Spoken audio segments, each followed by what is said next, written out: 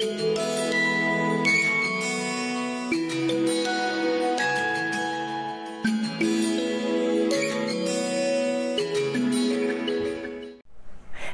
and welcome to HealthyHouseplants.com, where we teach you all about gardening in the great indoors. If you'd like to support our show, please use our Amazon affiliate link below. Today, we are going to talk about Ming Aralia, uh, specifically the cultivar Fabian. And uh, because there are many different types of Aralias, many have very fine foliage. The uh, Ming Aralia Fabian, however, as you can see, has very cool, very almost dinner, sometimes they're described as dinner plate uh, shaped leaves because they're very round, which is uh, actually not that common for plants. There's not that many plants that have leaves that are this round. So as mentioned, this is a uh, an Aralia, uh, botanical name Polyscias scutellaria, and Fabian cultivar. So the, these large scalloped dark green leaves, they're glossy, um, they tend to curve outwards a little bit, and they are deeply veined and tinged purple underneath the leaves. So we have a older specimen to the left there you can see they get to be pretty good size. They do grow to be pretty tall.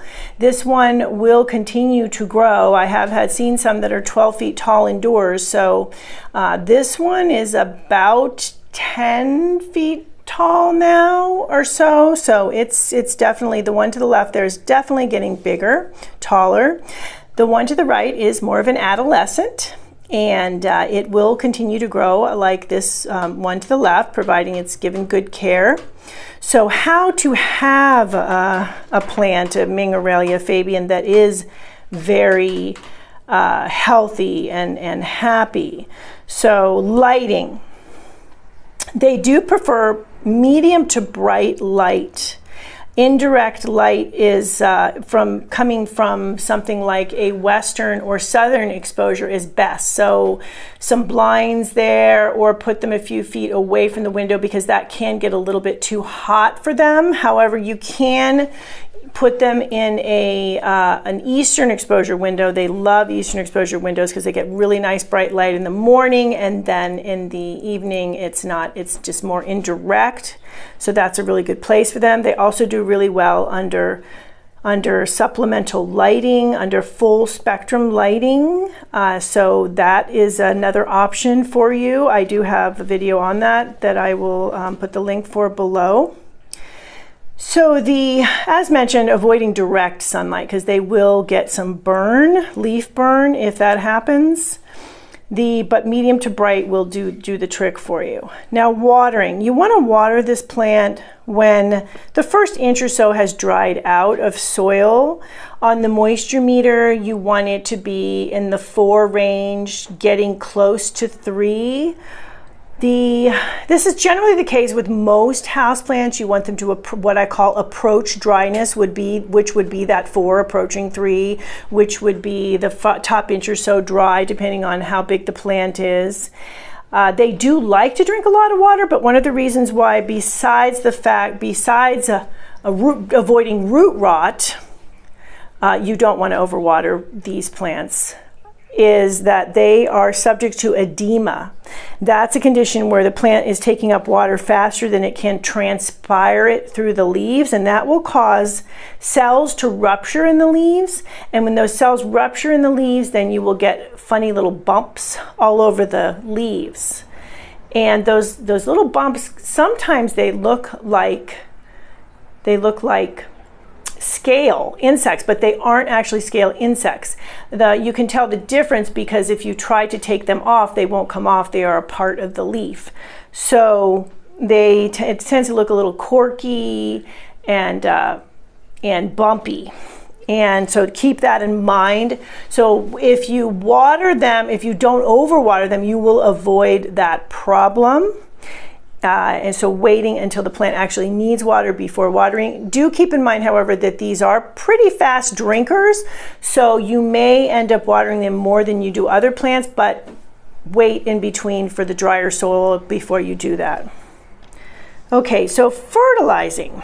They do like to be fed uh, they aren't huge feeders, but they do like to be fed occasionally. So I generally would recommend with this plant feeding it about every three months during the growing season. So you wouldn't want to do this in the in the middle of winter, but the rest of the year, about every, and you can even go two months, two to three months, using a nice organic fertilizer on the plant. I have a green gourmet houseplant food. I'll put the link below that I use on on these plants, and it responds well. But uh, if you do use another type of fertilizer, opt for a, an organic fertilizer, and that um, will be good for this plant because they do tend to get crispy outer leaves, and those crispy outer leaves can be from over, fertilizing.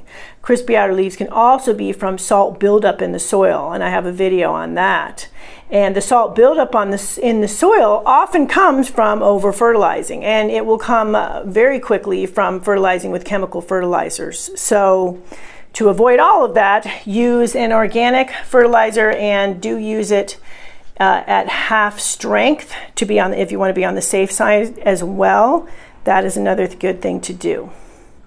These plants don't require much pruning, but obviously if you have an, uh, a, a leaf that is, is gone, is done, do clip it off at the base of the plant. That will grow generally new leaves from that part where you, where you prune it off. Keep in mind that you don't want to prune off more than one third of a plant at any one pruning because you will put it into shock and you can kill it. So try not to go too crazy on these plants. They are fairly slow growing plants so it's not like they're going to fill up your living room in one season. So they the one to the left there has been grown it was the size of the one to the right but that was about six or seven years ago. So like i said they they do continue to grow. They're slow and steady growers but not real fast growers. You'll see the cool uh, the um, the uh, at the base of the plant, uh, you can see there is a stalk. At, at, it's a stalking at the trunk. So this plant is really cool because it has a trunk-like base, so it really does look like a tree, like a real tree that you'd find outdoors. So you can get a really nice uh, uh, indoor tree look with the plant as well, and that's another thing I really like about it. Uh, the, uh, the new stems coming off of that base will often be, be thinner as you see in the, in the larger plant, but it still looks um, very architectural is what I like to think of that when you have that different sort of uh, a look at the base of the plant. So humidity. They do like some humidity. So if you can put them on a humidity tray, if you live in a really dry climate, then do consider putting them on a humidity tray. I have videos on that as well. That will give them the little extra added moisture and help them. If uh, if you don't, if you live in a, in a moist climate, a humid climate, then you don't really need to worry about about humidifying them. But if it, uh, so, I'm talking if you're living in a very dry climate, do consider giving them some humidity, because the dry, crispy leaf edges can also be from low humidity. So if you're doing everything else right and you live in a dry climate, consider the humidity tray if you're having a problem with that. Okay, so now let's see.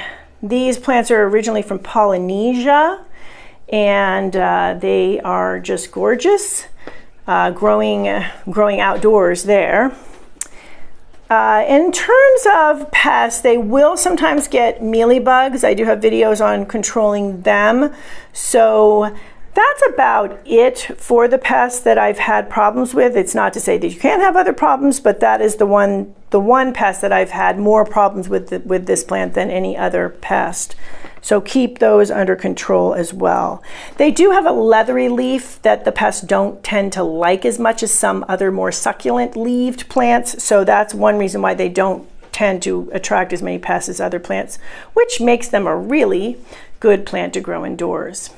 As mentioned, they are from Polynesia, so they do like things warm.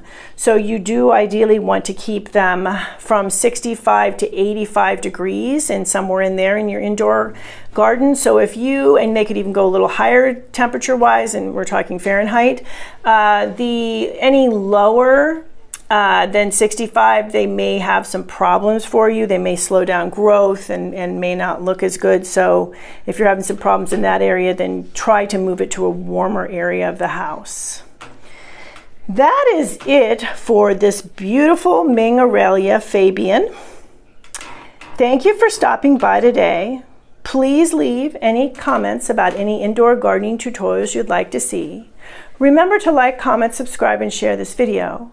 And please check the bell if you'd like to be notified when new videos are released.